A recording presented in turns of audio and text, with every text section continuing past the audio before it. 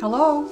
Mrs. Miller, this is the utility company. Your power is going to be shut off unless you give us payment right now over the phone. Oh, well, I'll have to get my credit card. Hold on, please. What company did you say you were with?